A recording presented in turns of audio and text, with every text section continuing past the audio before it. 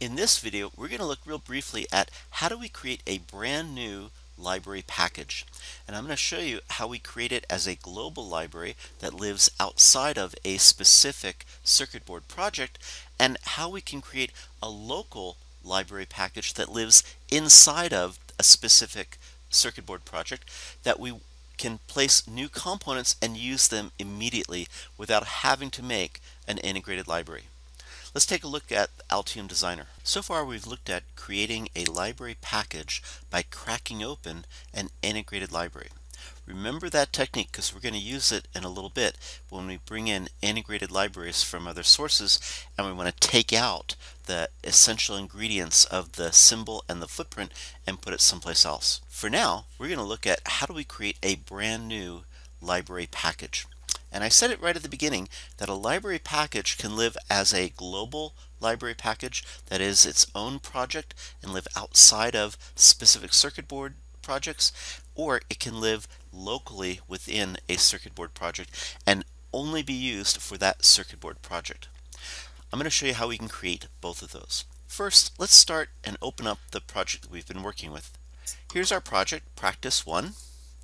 And if we want to open this up, all we have to do is find the PRJ PCB because this is the master file that has all the linkages of everything we're using in that file. We double click, open it up, and presto, there it is. There's our schematic and there is our layout.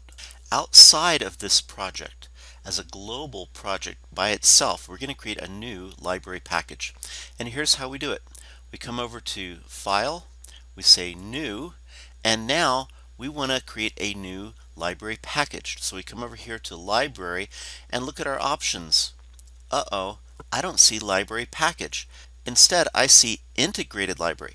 That's not what we want to make. The only way we can really make an integrated library is compiling a library package.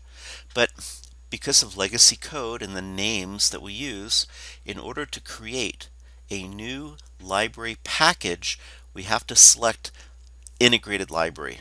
And watch what happens. We say, okay, let's make a new integrated library. We're not making an integrated library, we're making a library package. And that's how we create a new library package outside of a specific circuit board project. This is its own project in this project, I need to create those two little pieces of the database, the symbol database and the footprint database. And so in that integrated library, well, that's the name of it here is, is integrated library one library package. I want to, before I do anything else, I want to change the name of that. So I'm going to do a save as. Remember, this is global. It's going to live outside of any specific project. And so I'm going to uh, put this in my overall library folder. So here are all of my circuit board designs and I have this global folder that is just for my libraries. These are going to be ultimately turning into library packages or integrated libraries and I'm going to create a new one here and I'm going to create a new folder to place it in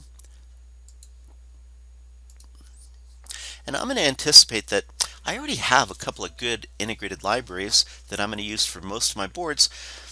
I want this integrated library to be a special one. This is going to be for um, special parts uh, for sensors. So I'm going to call it ELB just to designate, okay, that's mine.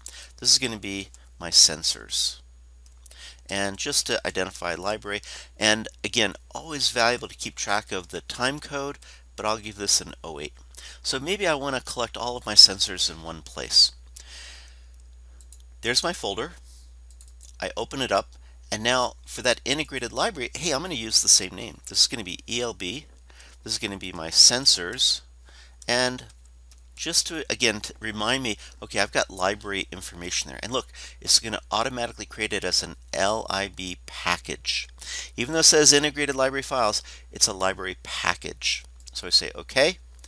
We're done, ka-chunk, ka-chunk, ka-chunk, and look, here is our new project. It says ELB sensors lib, and it's a library package. Into this global project, I'm going to add that schematic library and the PCB library. So we we've identified that project, we right mouse click, and we're going to add new to this project a schematic library and a footprint library, which is the PCB library. We're done. And so now in this project, the library package, I've got my two different database modules. And it's into these that I'm going to place components. Now, I created this external to my circuit board project. And you notice a little star here that says, hey, you haven't saved it. So let's come along here and let's save this. Now, because these two are going to be tied intimately into this library package, I don't really need to rename um, the symbol library or the footprint library. I can just keep them generic because the information about what's in there is tied into the library package and it will always, as long as I keep them together, always know where they are. So um, I've already saved this, but I, I save and now it's asking me, okay, remember that footprint library that you created, you got to save it in here. And look, it's going to be saved in that folder that I created. And I got to do the same thing with my schematic library. Again, it's going to be in that same folder that I created. And so I've got the framework now with a new library package that's global, it's its own project, and it's got the uh, library package, the project name, and it's got the two elements that'll be the schematic and the footprint. Let's take a look. Let's take a look at that structure. So we come over here to, here are all of my circuit board files. Here's my library. And in this library, look, here's that folder that I created. That's going to be my new information about library elements associated with that sensor. And here's my library package, the um, PCB part and the schematic part. So this is going to be the footprint and this is going to be the symbols. And it's I've got the right file structure. Now this is global and from this I can compile it and make, once I add components, compile it and make it into an integrated library. And then I can use that integrated library, just like we've done before, for any circuit board project that I'm working on, as long as it's installed on my computer. And if I give that project, that circuit board project to somebody, I want to give them that integrated library and other integrated libraries I'm using so that they can build um, and, and edit that schematic and the layout as much as they want. But sometimes I don't want to go to all the hassle of building an integrated library in order to use those parts right away because I'm working on a circuit board and I just need two parts for this circuit board. I don't want to recreate a whole new integrated library. Yeah, that'll come later. I'll integrate those new parts in in the next rev, but I want to do my board now. And here's how we can do that. In this project, this is our circuit board project and we already saw before. Okay, here's the schematic, here's the, the layout. We'll zoom out for it. There's the layout. In this project, I want to add a new library uh, package. I want to add a library package so that I can add just a couple of components in here and use them right away. I don't want to have to wait to build an integrated library. So we take that project and in the same way we say add new to project and we want to add, let's see, where's the library? Here it is. I want to add a schematic library and Again, go to the project name, add new to project. I want to add a PCB library.